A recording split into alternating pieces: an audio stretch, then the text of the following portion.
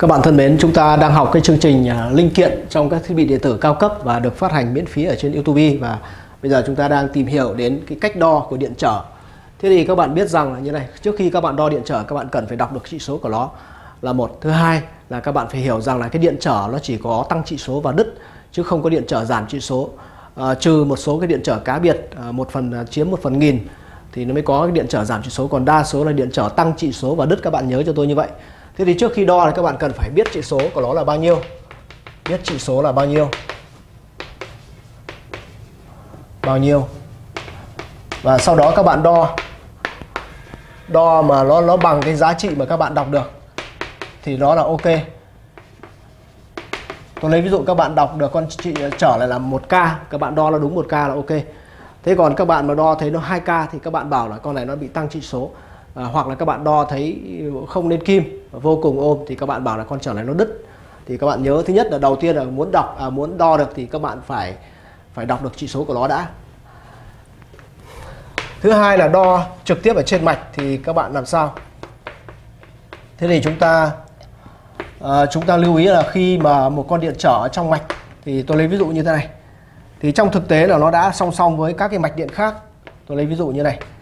À, và chúng ta muốn đo như này thì thực tế là nó lại song song với cái mạch điện khác cho nên là cái tổng trở của nó lúc này chúng ta đo trở nhưng mà thực tế là chúng ta đo đo đo cả cái đoạn uh, mạch này nữa. Cho nên là uh, với cái trường hợp mà các bạn đo trực tiếp điện trở trong mạch thì các bạn chỉ đo được cái, những con trở mà có giá trị nhỏ. Giá trị từ vài ôm đến vài trăm ôm thì các bạn nhé. Vài trăm ôm. Thế còn cái giá trị điện trở nó đã lên hàng ờ, k, hàng chục k thì các bạn muốn chính xác thì các bạn cần phải tháo nó ra ngoài hoặc là các bạn kênh một chân nó lên, thì các bạn đo nó mới chính xác nhé. Tôi nhắc lại, nếu như các bạn mà đo con trở trực tiếp ở trong mạch mà các bạn không tháo ra, thì các bạn chỉ đo được con trở vài ôm đến vài trăm ôm, thì các bạn biết nó chính xác. Thế còn con trở vài kilo đến vài chục kilo đến vài trăm kilo thì các bạn muốn biết nó chính xác có tăng trị số hay không, thì các bạn cần phải gỡ một chân nó ra thì các bạn kiểm tra nhé thì đấy là cái cách kiểm tra điện trở tiếp theo là chúng ta tìm hiểu cái tác dụng của điện trở trong mạch. Nó để làm gì?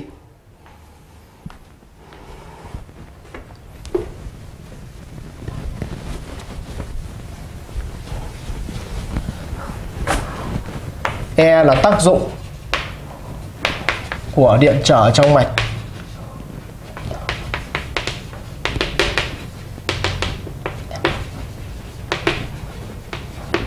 À, bây giờ tôi có một cái nguồn điện 12V 12V và tôi lại có một cái led nó lại chỉ chạy được có 3V 3V và cái dòng của cái con led này là 10 mA để nó sáng nhất. Và bây giờ chúng ta nếu mà chúng ta đấu vào như thế này thì cái led này nó sẽ bị cháy ngay lập tức. Các bạn hiểu không ạ? Cháy ngay lập tức. Và chúng ta muốn cái led này nó cháy được nó chạy được uh, ánh sáng bình thường thì chúng ta phải thêm cho nó một con điện trở trên đường lối tiếp. Thì đây là cái con điện trở. Để nó nối tiếp với con trở này thì từ cái mạch như thế này thì chúng ta mới suy ra là gì? Trở có tác dụng dẫn điện đúng nhỉ? Dẫn điện. Thế thì bây giờ tôi bảo là nếu mà trở dẫn điện thì tôi bỏ cái trở lên tôi, tôi lối tắt. Thì nó cũng là dẫn điện đúng nhỉ? Nhưng mà nó sẽ bị cháy cái, cái con uh, led này đúng nhỉ? Cho nên là nó có cái tác dụng thứ hai là khi có dòng đi qua. Thì, nó hạn dòng hạn dòng, và nó tạo ra một cái sụt áp. Sụt áp, các bạn nhé. Theo cái công thức như này, U bằng Y nhân với R. Đây là một con trở cho trước. Nếu mà chúng ta cho một cái dòng điện chạy qua bao nhiêu thì nó nhân với cái trở này, nó ra cái sụt áp ở hai đầu. Thế thì tôi lấy ví dụ làm sao để chúng ta tính toán được cái con trở này với cái mạch điện như thế này? Thì các bạn thấy là đây là con 3V đây là 12V thì rõ ràng con trở này phải sút áp cho chúng ta. UR là bằng 9V và đây cho chúng ta biết là con đèn này nó chạy ở 10 mA ở cái đèn này, dòng đi qua đèn này cũng chính là dòng đi qua điện trở. Các bạn nhé. Ở đây là trong mạch nối tiếp. Hay nói cái khác là gì? Y của R bằng 10 mA chúng ta đổi ra ampere nó bằng 10 mũ trừ 3 10 nhân với 10 mũ trừ 3 các bạn nhé, mili mà. Thì bằng 10 nhân với 10 mũ trừ 3 của ampere. Và từ cái này chúng ta sẽ tính ra được cái con trở cần để lối vào đây. R nó sẽ bằng U chia cho Y sẽ bằng 9V chia cho 10 nhân với 10 mũ trừ 3 và đây chính là bằng 9 nhân với 10 mũ 3 chia cho 10 thì cái này nó bằng, giản ước thì các bạn thấy nó sẽ bằng 9 nhân 10 mũ 2 đúng nhỉ? Hay nói cái khác là bằng 900 ôm đấy, các bạn hiểu cách tính này chưa ạ?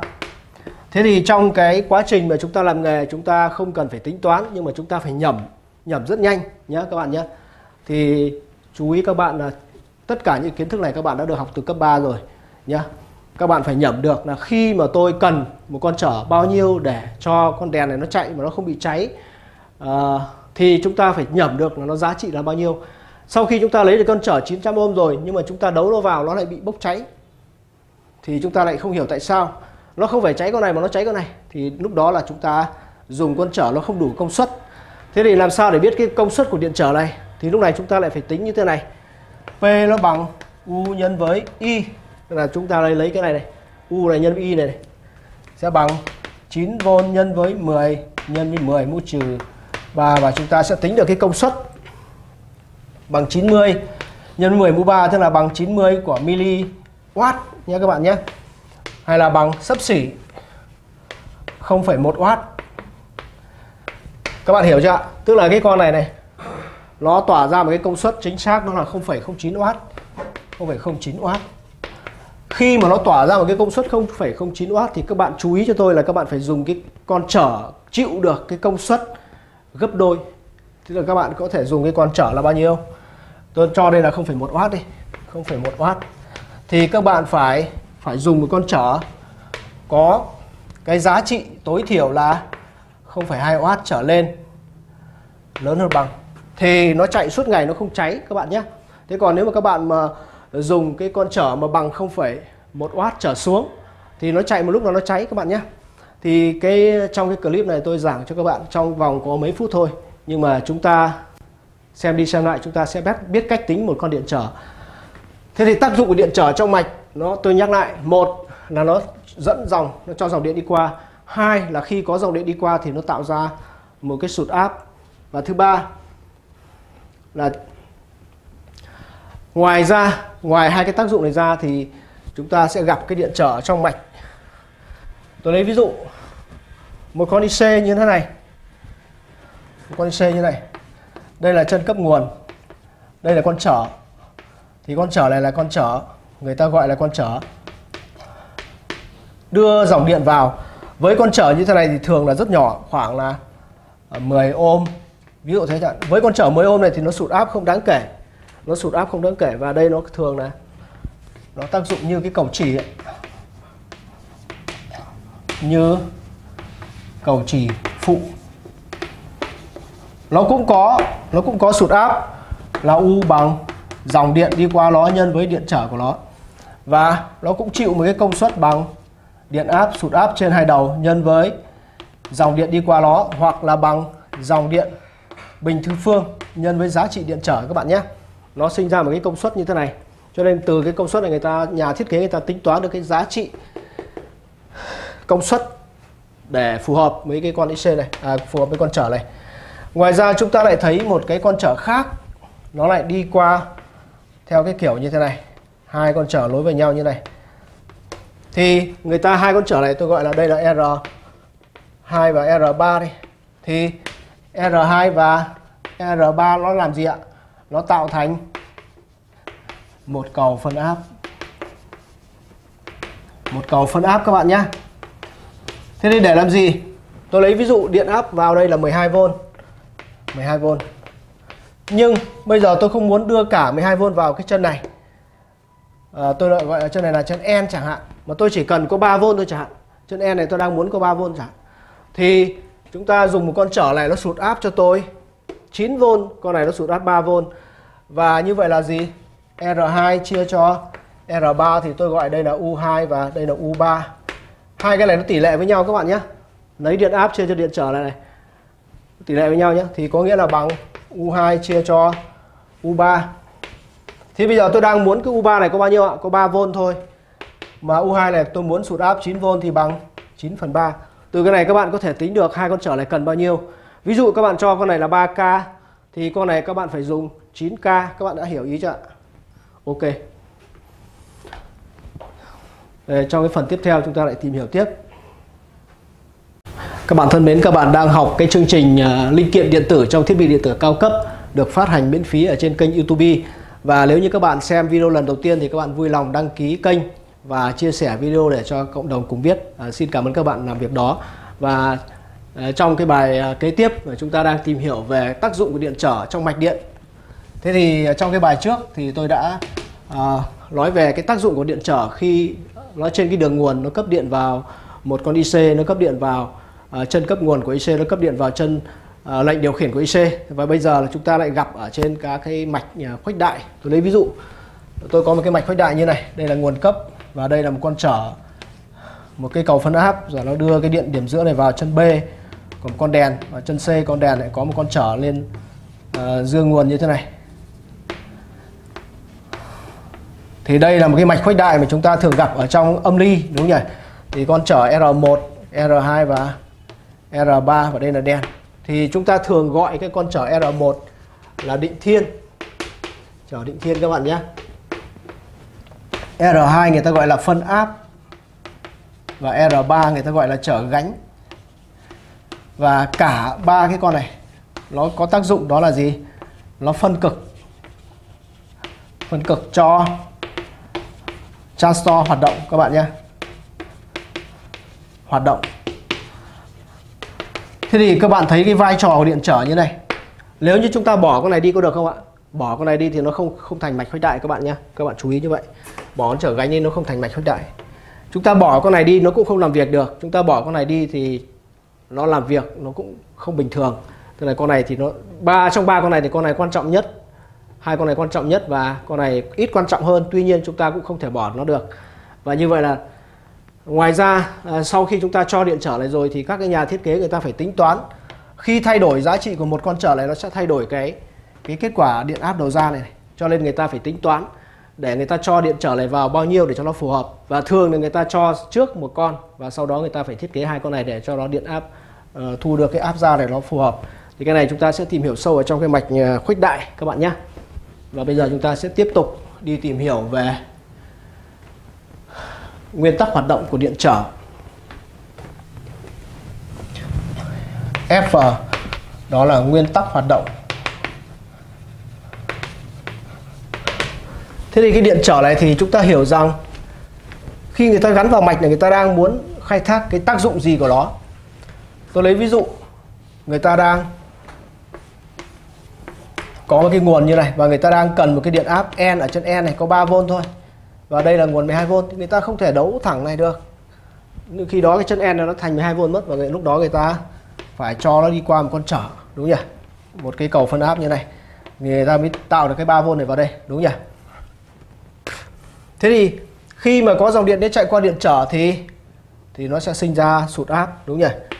Thì cái nguyên tắc hoạt động là khi mà à, đặt điện trở vào một cái điện áp một cái trở vào một cái điện áp nào đó thì chúng sẽ có có dòng chạy qua.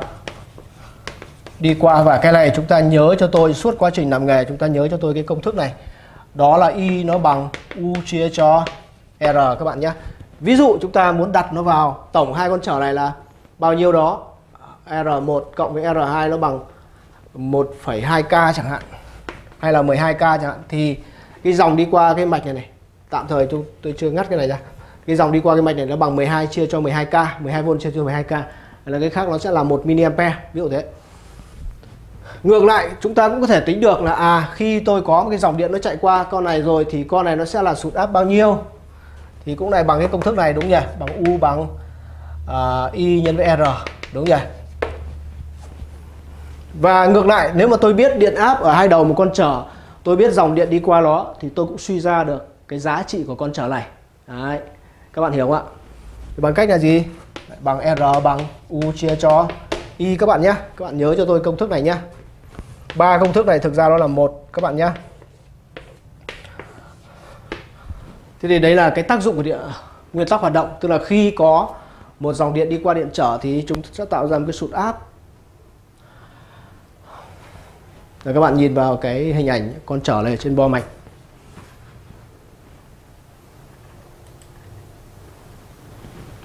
Đây là trên bo của một thiết bị điện tử thì chúng ta thấy đây. Đây, con trở đây, đúng nhỉ? Trở đây. Thứ nhất là chúng ta nhìn thấy cái ờ, cái vạch màu của nó nhá. Đây con trở này là trở 5 vạch màu. Các bạn quan sát nhé trở này là trở 5 vạch màu và đây là cái vạch nó xa nhất thì đây là vạch sai số các bạn nhé đây là màu xám mà là số 8 đây là số 2 đây là số 0 và đây là màu cam là số 3 thì cách đọc trị số của con này như sau. 8 2 0 3 là 3 số 0 tức là đây là con trở 820 kΩ ở đây thì lại là chở bốn vạch màu. Đây là một, đây là hai, đây là ba và đây là bốn. Cái vạch thứ tư là màu nhũ. Thì đây là lâu, đây là đen, đây là đen thì chúng ta đọc như này này. Lâu là một, đen là không và đây là không có số không nào. Thì đây có nghĩa là gì? 10 ôm, con chở 10 ôm các bạn nhé. Và chúng ta nhìn con chở này, kích thước là chúng ta có thể đoán được đây là cái chở công suất.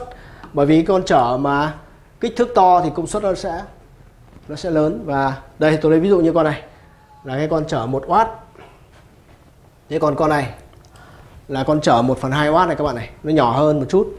Và cái con này là con chở 1 phần 4 watt các bạn nhé. Tức là gì? Các bạn nhìn những cái điện trở kích thước to hay bé thì các bạn có thể áng áng được cái công suất của nó. Thế còn cái trị số bao nhiêu ôm thì các bạn nhìn vào vạch màu các bạn nhé. Đây là những cái con trở dán thì các, các bạn quan sát những con trở dán này thì đây tôi phóng to một con trở ra. Thì các bạn nhìn thấy đây là 470 470 ở đây không có nghĩa là 470 ôm đâu nhá. Mà đấy chính là 47 ôm các bạn nhé không là không có số không nào. Thì các bạn hiểu nó như vậy. Một số cái điện trở nó ghi số 0 thì cái này là chính là trở không ôm các bạn nhé nó thay cho cầu lối.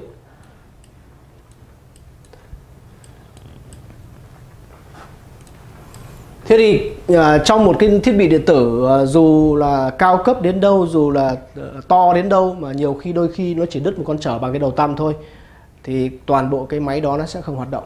Tất nhiên là chúng ta phải có phương pháp để chúng ta uh, loại trừ dần loại trừ dần để chúng ta tìm đến cái con trở đó để chúng ta thay thế.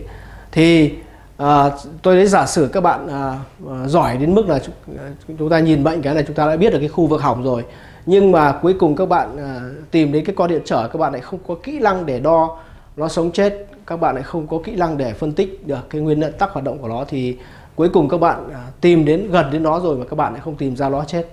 Thì đấy là cái kỹ năng rất là cơ bản khi mà các bạn sửa chữa à, một cái bo mạch điện tử hay là máy tính hay là à, à, điện lạnh.